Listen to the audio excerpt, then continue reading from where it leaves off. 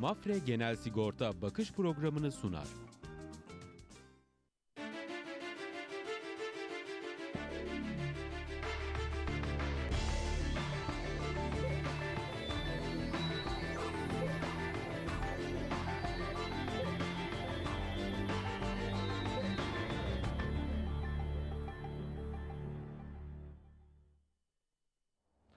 Bakış programına hoş geldiniz. Bugün stüdyo konuğumuz MÜSİAD 3. dönem Genel Başkanı aynı zamanda AK Parti Merkez Karar Yürütme Kurulu üyesi Ömer Bolat bizlerle birlikte. Ee, hem dün akşamki Merkez Bankası'nın almış olduğu e, şaşırtan bir kararı konuşacağız hem de e, son dönemde ekonomide yaşananları Sayın Bolat'la konuşacağız. E, gelişmeleri konuşacağız, beklentileri konuşacağız. O yüzden de Sayın Bolat'ı stüdyomuza davet ettik. Hoş geldiniz. Hoş bulduk Noyan Bey. Şimdi dün akşamla ilgili bir hatırlatma yapalım. Arkadaşlar Tabii bir ki. haber hazırlamışlar. Onu izleyelim. Sonra Memnuniyetle, üzerine tabii. e, istişarede bulunalım. Efendim bir ufak haberimiz var. Merkez Bankası'nın dün geceki aldığı kararla ilgili. Onu birlikte izleyelim. Bir hatırlayalım. Belki e, seyretmeyen ya da dinlemeyen vardır. Bir ufak hatırlatma yapalım. Sonra Sayın Ömer Bolat'la sohbetimize başlayalım. Son yılların en kritik Merkez Bankası toplantısından beklentilerin üzerinde sert faiz arttırımı çıktı. Gece saat 24'te piyasalar soluğunu tutup Merkez Bankası'nın faiz kararını bekledi. Kararın açıklandığı dakikalarda Merkez Bankası'nın internet sitesi kilitlendi ve merakla beklenen toplantıdan sert faiz artışı geldi. Merkez Bankası politika faizini %4,5'tan %10'a yükseltti. Marjinal fonlama oranı %7,75'ten %12'ye, borçlanma faiz oranı %3,5'tan %8'e, piyasa yapıcı bankaların gecelik borçlanma imkanı faizi %6,75'ten %11,5'a çıktı. Merkez Bankası geç likidite borç verme faizini %10,25'ten %15'e yükseltti. Pazartesi günü 2.40 liraya dayanan dolar Merkez Bankası'nın olağanüstü toplanacağı haberiyle 2.25 liraya kadar gerilemişti. Merkez Bankası'nın faiz arttırım kararı sonrası ise dolar 2.18 liranın altına sarktı. Faiz arttırımıyla ilgili sinyali Merkez Bankası Başkanı Erdem Başçı enflasyon raporunu açıkladığı toplantıda vermişti. Şu ana kadar büyük ölçüde e, tek araçla e, çalışıyorduk. Bundan sonra büyük ihtimalle iki araçla çalışacağız. E, bir faiz aracı olacak ki bu likidite politikasıyla ilgili olan kısmı. Bir de döviz e, aracı olacak. Başbakan Erdoğan ise İran'a hareketinden önce faiz arttırımına karşıyım demişti. Ben faizlerin artırılmasına her zaman olduğu gibi bugün de karşıyım. Onu özellikle bilmenizi istiyorum. Ama tabii Merkez Bankası'na müdahale yetkim yok. Tasarrufum altında, yetkim altında değil. Ve sorumluluğu da onlara aittir. Yarın orada doğabilecek her şeyin sorumluluğun hesabını tabii ki onlar vereceklerdir. Evet efendim özetle dün akşamki karar böyle. Ömer Bolat dediğimiz gibi bizlerle birlikte tek, tekrar hoş geldiniz Hoş Sayın Bolat. bulduk Noyan Bey. Bekliyor muydunuz? Merkezin Şöyle, faiz, arttırımı. arttırımını bekliyorduk tabii. Bu kadar Zaten bekliyor muydunuz? e, sabahleyin gün sabah itibariyle Başkan Başçı e, hükümete sunduğu enflasyon raporunu açıklarken bunu e, kendisi ifade etmişti. Ama beklediğimin üzerinde bir artış oranı geldi. Ben 3 civarında, 3 bas puan civarında bir artışı yapabilir diye bekliyordum. Yaklaşık 4,5 ila 5,5 e, bas puanlar arasında artışlar gerçekleşti farklı kademelerde. E, bunu şöyle yorumlayabiliriz. Hani meşhur bir balyoz darbe planı ve balyoz davası vardı. Merkez Bankası'nın dün geceki kararı da adeta para piyasaları üzerinde bir balyoz etkisi meydana getirdi. E, esasında e, bu kur artışlarının son günlerdeki kur artışlarının spekülatif olduğu şuradan ortaya çıkmıştı. Biz e, bakıyoruz kapalı çarşıda Tahtakale'de en ufak bir hareketlenme yok. Halkta döviz bürolarına, bankalara, kapalı çarşıya, kuyumculara hücum yok. Tamamen manipülatif bir şekilde e, fiktif açıktan taleplerle suni bir e, kur e, talebi yaratılarak e, kur alevlendirilmeye çalışıldı. E, burada da e, tabii Merkez Bankası 3 cephede şanssızlık yaşadı. Bir tanesi 17 Aralık operasyonuyla başlayan e, siyasi çalkantılar, belirsizlik ortamı acaba ne oluyoruz? İşte tam da seçim öncesi bu e, olayların meydana gelmesi e, seçime kadar sürecek bir belirsizlik ortamının devamını mümkün kıldı. Yani faiz lobisi için inanılmaz bir e, bataklık meydana getirdi. İkincisi Amerikan Merkez Bankası'nın 22 Mayıs'ta işaret ettiği, daha sonra da geçen ay e, 10 milyar dolar azalttığı tahvil alım programında bu ay sonu yani 1-2 gün sonra yapacağı toplantıda yeni bir 10 milyar dolar daha azaltırım yapar beklentisi. O da ikinci önemli sıkıştırma oldu. Merkez Bankası üçüncü cephede de e, spekülatif e, fonların, bankaların meydana getirdiği talep e, şeyiyle, beklentisiyle kurun alevlenmesi karşısında e, adeta çaresiz kaldı ve faiz silahını şaşırtıcı bir şekilde beklentilerin Şimdi üzerinde e, faiz çekti. lobisi mi e, kazanmış oldu? Şimdi Sizin söyleminizden biraz böyle çıkarıyorum. şimdi tabii bir yani de Merkez Bankası faiz lobisine bir anlamda yenik bir düştü. Ben Öyle mi bunu, görünüyor? Ben bunu şöyle 2016 senaryosunun 2016 Mayıs senaryosunun bir tekrarı olarak görüyorum. Hatırlarsanız o dönemde de Türkiye adı, gıdım gıdım diyebileceğimiz bir şekilde faiz oranlarını düşürmeye çalışırken Merkez Bankası başkan değişikliği, cari açıktaki artış, işte yeni Merkez Bankası Durmuş Yılmaz'ın test edilmesi gibi gerekçelerle aynı bugünleri yaşar bir şekilde kur üzerinde bir e, artış e, ve alevlenme meydana getirilmişti. O zaman da Merkez Bankası e, 4-5 hafta süreyle döviz satarak değişik müdahale araçlarıyla bunu frenlemeye çalıştı. Ama sonra olağanüstü bir toplantıyla hatırlarsanız bir gecede faizleri 4 puan birden arttırarak e, adeta bir balyoz vuruşu yaptı döviz kuru artışını frenlemek için dediğim gibi bu üç faktör nedeniyle e, Merkez Bankası'nın elinde faiz silahından başka bir enstrüman kalmamıştı. E, spekülasyon olduğu şuradan belli. Pazartesi günü birkaç saat içinde 2.32'den 2.40'a taşınan kur Merkez Bankası'nın olağanüstü para politikası kurulu yapacağını açıkladığı andan itibaren 13 kuruş birden düştü. İşte İnmeye başladı. spekülasyon oradaydı zaten. Çok açıktı. Bize soran iş adamları vardı. Halkımızdan e, insanlar, tasarruf sahipleri döviz alayım mı, daha da çıkacak mı, ne dersiniz diye sorduklarında biz sakın ha diyorduk.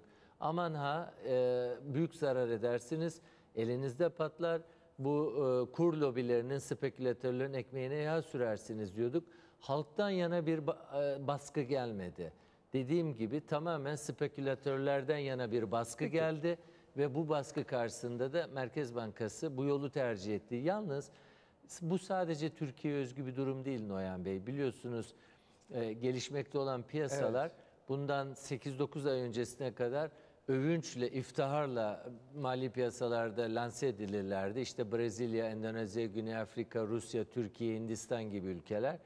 E, ve Amerikan Merkez Bankası'nın para musluklarını kısacağının e, işaret edilmesinden sonra da e, bu beşli kırılgan beşli gibi lanse Tabii. edilmeye başlandı. İşte bunlara para akışı az olacak.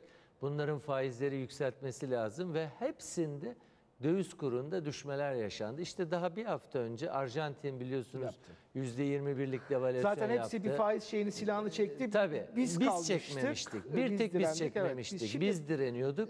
Biz de, Biz e, de maalesef yapamadık. e, yapamadık. Şimdi e, şunu kabul ediyor musunuz Ömer Bey? E, 17 Aralık'tan sonra bu ge- gelen zamana kadar yaşananları, hani onlar siyasi kolay bir, bir kenara koyuyorum ama e, ekonomide bir e, sıkıntı oluşmaya başladı.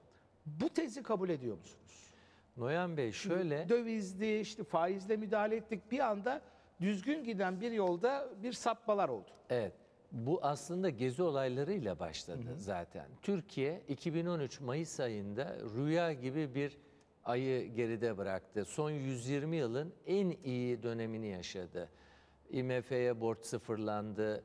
E, efendim çözüm süreci yolunda gidiyor. Bütün sabotajlara rağmen Türkiye 30 yıllık 40 bin can alan terör sorununu, 1 trilyon dolara mal olan terör sorununu geride bırakıyor. E, iki tane nükleer santral e, anlaşması imzalamış 22'şer milyar dolarlık.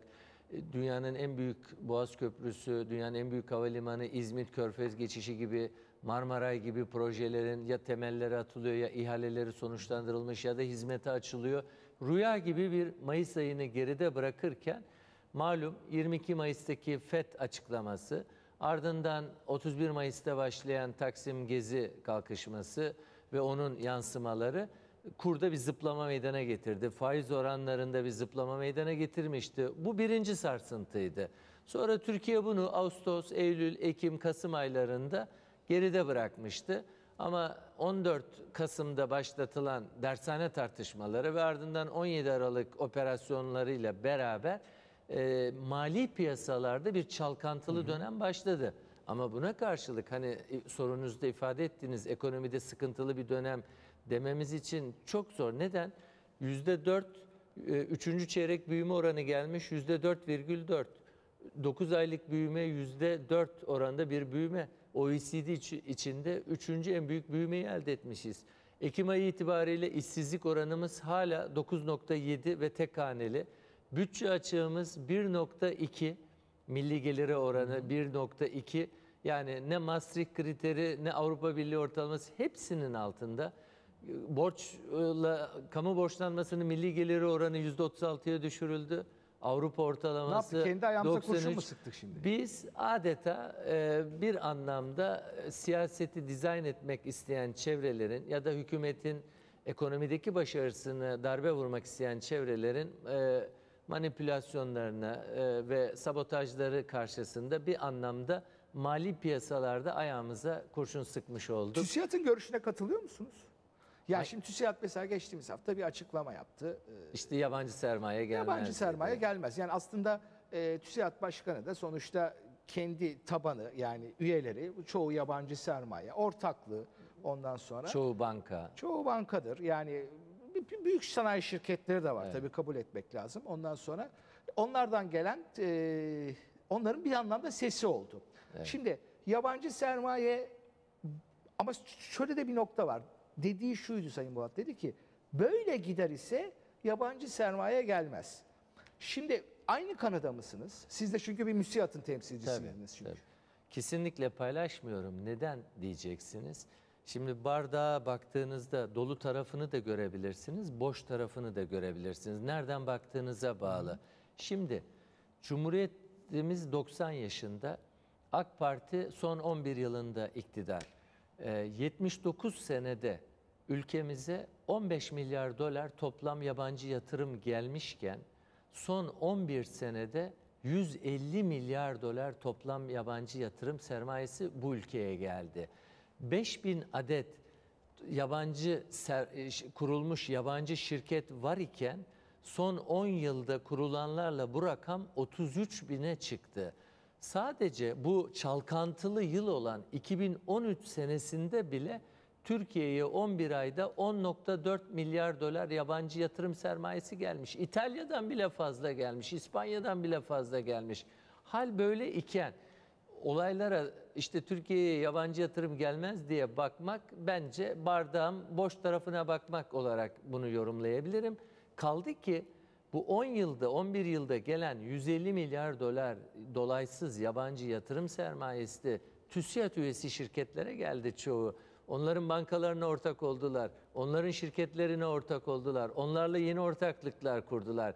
Yani nemalanan da TÜSİAD ve TÜSİAD şirketleri. O yüzden biraz e, siyasi alanda havaların bulutlanmaya başladığı, grileşmeye başladığı bir dönemde daha yapıcı, daha e, e, önerileri ortaya koyan bir yaklaşımda olmak gerekirken adeta biraz hani ortada biraz alev çıkmaya başladı. Ben de onun üzerine benzin döküyüm yaklaşımında olmayı doğrusu ben e, yanlış buldum e, ve de e, benimsemedim. Peki. Şimdi şöyle bir görüş var Ömer Bey. Mart sonundaki seçimler bittikten sonra bir dalgalanma. Ya çünkü bir siyasi bir dalgalanmanın ekonomiye yansıması var şu anda. Bunu Evet. hepimiz kabul Evet. ediyoruz. Siz de tabii kabul tabii ediyorsunuz. tabii. Mart sonundaki seçimler bittikten sonra bu dalgalanma bitecek. Evet. Şimdi böyle bir genel teamül var. Yani böyle bir anlayış var.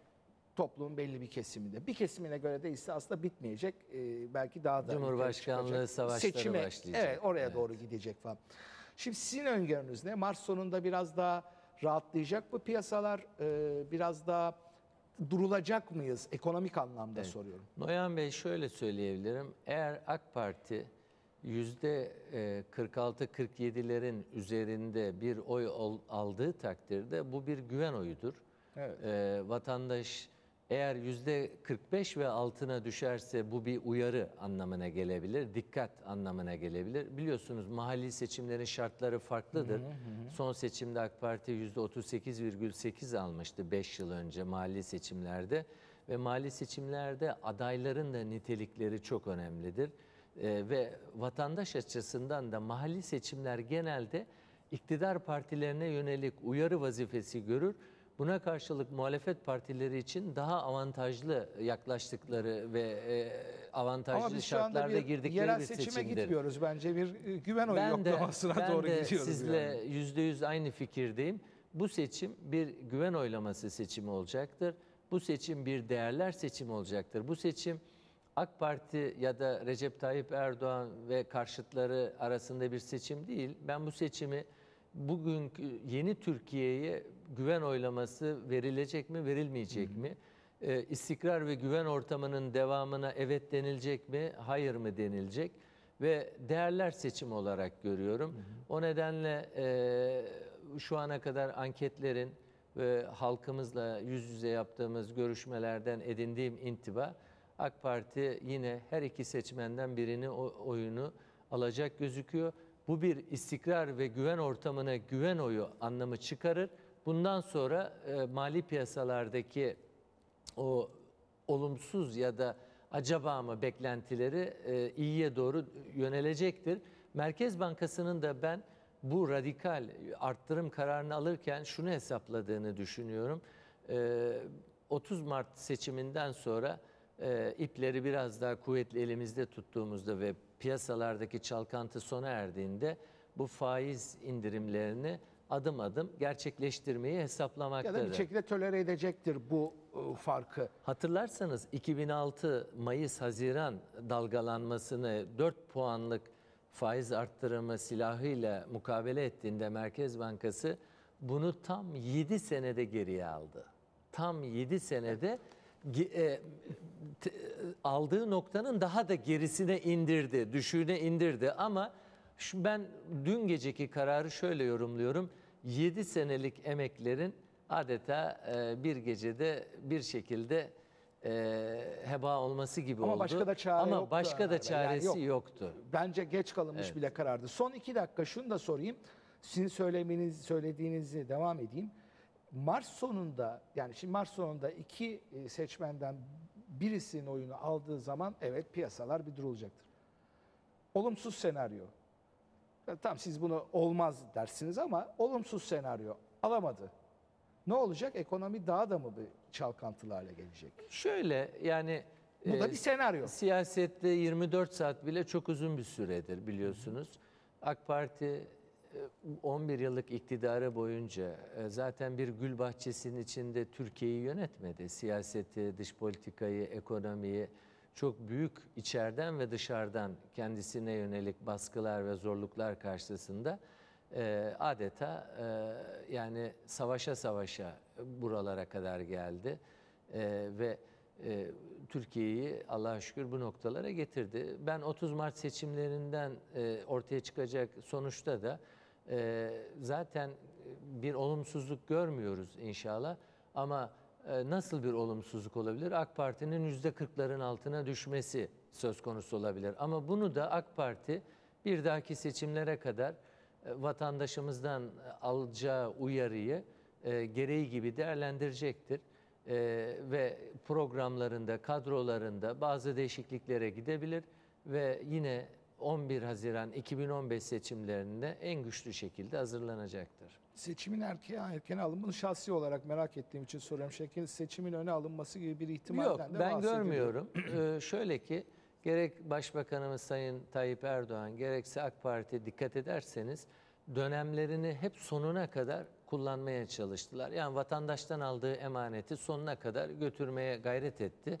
Bir tek 2007'de 4,5 aylık bir öne alma söz konusuydu. O da Cumhuriyet mitingleri, Anayasa Mahkemesi'nin 367 kararının Cumhurbaşkanlığı seçimini kilitlemesi, e, e-muhtıra gibi çok olağanüstü şartlar O da bir nedeniyle güven oyuydu zaten e, o da bir güven oylaması seçimiydi ve o riski aldı ve kazandı. Yani AK Parti e, siyasette riskleri alarak bugünlere ulaştı. Her türlü riski göze alabilir çünkü halkımıza e, güveniyoruz. E, halkımızın sağduyusuna ve ahde vefasına güveniyoruz. Çok teşekkür ediyoruz Ömer Bolat. Ben teşekkür ediyorum için. Nayan Bey sağ olun. Evet efendim bakış programının sonuna geldik. Önümüzdeki hafta pazartesi günü saatimiz değişiyor. Yeni saatle karşınızda olacağız. Saat 9.30'da huzurlarınızda olacağız. Önümüzdeki hafta pazartesi görüşmek üzere. Hoşçakalın efendim.